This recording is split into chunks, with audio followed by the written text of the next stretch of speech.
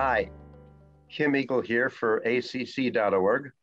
We're at ACC 21, the National Scientific Sessions, covering the clinical trials. And today we're talking about trials that are presented on May 17th, Monday. Um, this is such a great meeting. There were so many trials to choose from. Uh, and we found five that we wanted to talk to you today about that are being presented.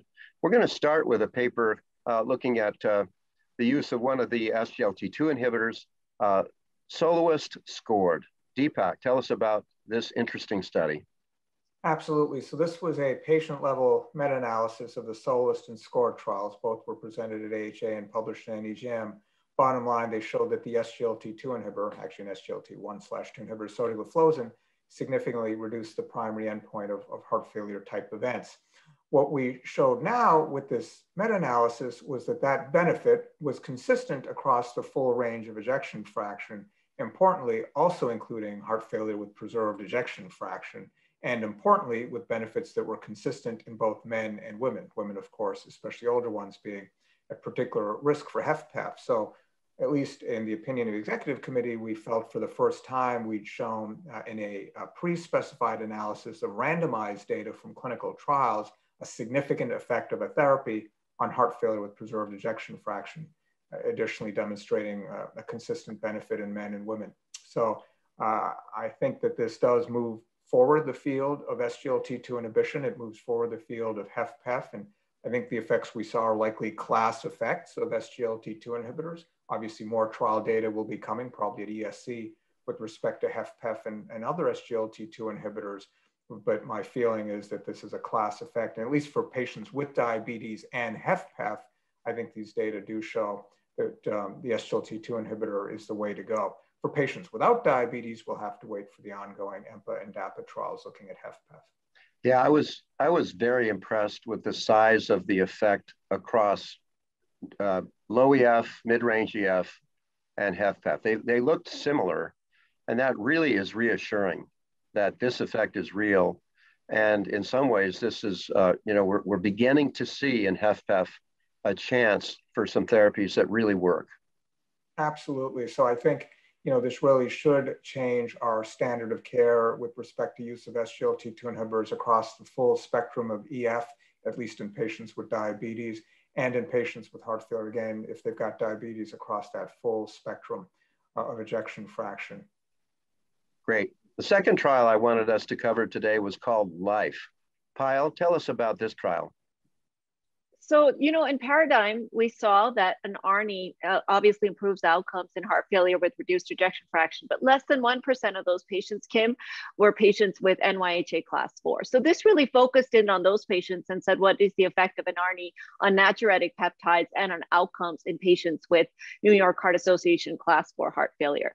And unfortunately, the trial was negative. So the primary endpoint, which was change in natriuretic peptides, there was no difference between the ARNI and valsartan alone.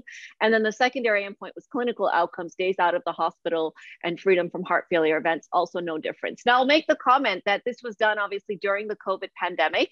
So they actually had to reduce their sample size, which was originally planned at 400 down to 355 because of the pandemic affecting trial enrollment. So I think this may be underpowered. Um, that's one piece of it. But of course, it also tells us that perhaps the activation of the RAS system in end stage heart failure is just so aggressive that despite having this great medication, this ARNI, we really weren't able to modify it. Now, it did give us some safety information about the ARNI. It told us there was not more hypotension, there was not more renal failure, slightly more hyperkalemia, but it was not life threatening. So it, it makes us feel reassured to use this medication in our class four patients, but unfortunately doesn't appear to be improving their outcomes or their natriuretic peptides. Excellent. I, I agree completely with your analysis. There's a trial also today called Galactic HF. Deepak, tell us about this study. Yeah, absolutely. So this is an important, well-done study also. It looks at omecamtiv mecarbil.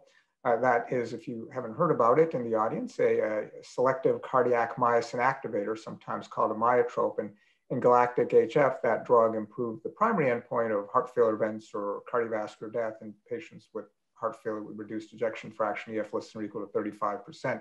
What the investigators have done now is analyze the data as a function of that EF, that is, if they're in the really low range, within the patients enrolled, say less than the median of 28% or greater than that median. And what they, what they found is you basically get more bang for your buck with the lower ejection fraction, which makes intuitive sense. And I think that, uh, you know, while the benefits in the overall trial were modest in magnitude, the benefits seemed much larger at the extremes of very low ejection fractions. So I, I think that this drug might actually have a valuable role in patients that are already maxed out on other therapies, uh, but have very low ejection fractions. But, but Kim, what do you think? Well, I would agree with you. I was impressed to see the size of benefit uh, increase the lower the ejection fraction went. Uh, and, you know, it's so exciting to have potentially paradigm changing therapies available. You know, we have with hypertrophic disease, mavacamten, and now with uh, dilated cardiomyopathy, potentially this myosin activator. So a whole new world for us in terms of managing heart failure is beginning to open, I think. Payal, did you have any comment? Uh, no, I would agree, and and it's it's you know very interesting because when we get into those very low EF patients, we really start to run out of therapy. So to have this kind of an effect and to see a more pronounced effect, it makes you feel better about that polypharmacy, layering on more and more medications that you're actually doing something for them. Great. Let's move on then to Fidelio DKD AFib. Payal, your thoughts? you know, uh, Kim, I'm very fascinated by AFib because I live in Colorado where we see a ton of AFib, but it's a very different AFib than what we see in the regular community. And this, you know, based based on pre- preclinical studies that tell us that mineraloreceptor activation can, you know, be involved in AFib, and and you know, inhibiting that can actually reduce inflammation and fibrosis. So this studied finerenone, which is a novel selective MRA um, that has been previously shown to improve outcomes in patients with CVD and CKD. And it really looked to see whether or not it impacted their new onset AFib outcomes. And I was very impressed to see the results because just at six months, we saw a dramatic decrease uh, with a relative risk reduction of 29% in new onset AFib. Um, and that risk continued to be reduced even after for the duration of the follow-up. And there was really no heterogeneity amongst the subgroups. So what this tells me is that, you know, we're always looking for new ways to prevent AFib. And I really like this proactive approach rather than a reactive approach, which we're so used to doing in medic- medicine. You know, we react to the disease rather than thinking about how to prevent it. And this is a nice bench to bedside demonstration of potentially an intervention in these high risk patients for AFib that could really dramatically reduce their AFib incidence. I agree with your analysis. I'm, I'm intrigued. Do you think Colorado has high altitude AFib? That's exactly right. And I almost wonder if it's a very different type of disease. And so my thought when I saw this was, would this work on my patients who bike 110 miles in one day every weekend or whatever, you know, because they have different, they have athletic AFib and they have high altitude AFib, which could be an entirely different disease process. Okay, I, am with you. Obviously, the, the notion is these drugs can affect uh, atrial fibrosis. Uh, and, and, this may be one of the mechanisms by which they tend to reduce the likelihood of AFib. And again, it's potentially a, a bit of a paradigm shift in thinking about how we're using medications, uh, classes of medications that we already have in a more preventative strategy. So it's, it's kind of a welcome new uh, opportunity for us. Uh, let's finish with a, I love this one too, rescue. Uh, this, this is an interesting study, Deepak. I can't even pronounce the name of the drug, but I hope you can.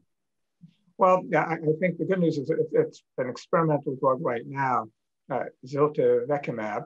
It's a fully human monoclonal antibody. It's directed against the IL-6 ligand, and it was studied in a phase two trial presented uh, by my uh, good friend and colleague Paul Ridker.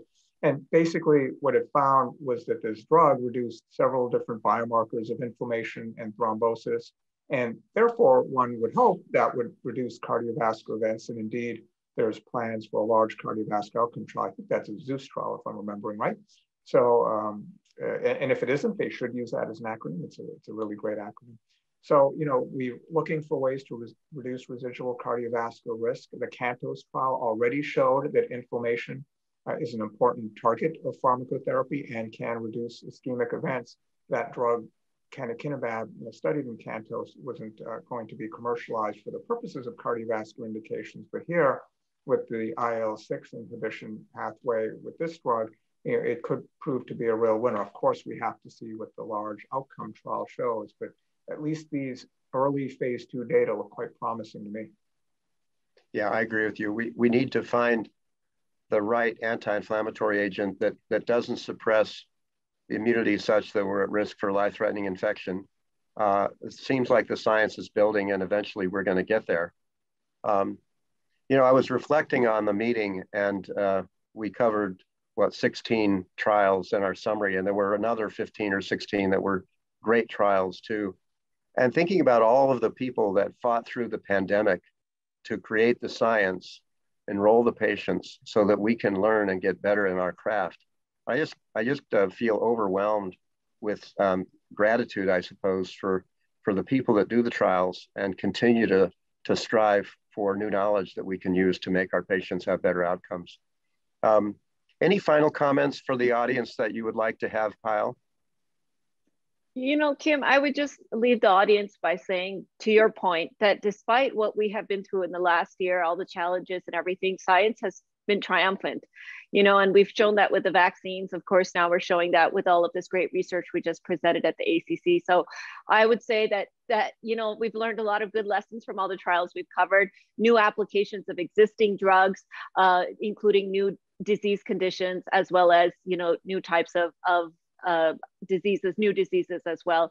So I just think it's been a really nice, reflective year. I wish we were meeting in person, but hopefully we will next year. And and I think we just have to celebrate all the wonderful science that's come out this year. Agree totally. Deepak, final word. Sure. I, I don't know that I can can top the really nice comments that you both made. I, I, think it's been a remarkable virtual ACC. There's been a lot of great science presented and I think the fact that it's occurring in a pandemic, it's something that we'll all remember, you know, for the rest of our lives. We'll tell our grandchildren about. It, it's just been amazing seeing the cardiovascular community come together at this horrible time of pandemic, collaborating globally on trials, the patients still sacrificing their time and energy, and all the investigators and, and support personnel just uh, you know striving for a larger purpose in, in the most adverse of circumstances. So it's, it's really inspiring. Thanks to both of you for uh, your comments today on these important trials. Thanks to our learners for tuning in to these wrap-ups. We hope they're useful to you. We enjoy bringing them to you. Um, this is Kim Eagle for ACC.org at the ACC 21 virtual meetings, and we're out.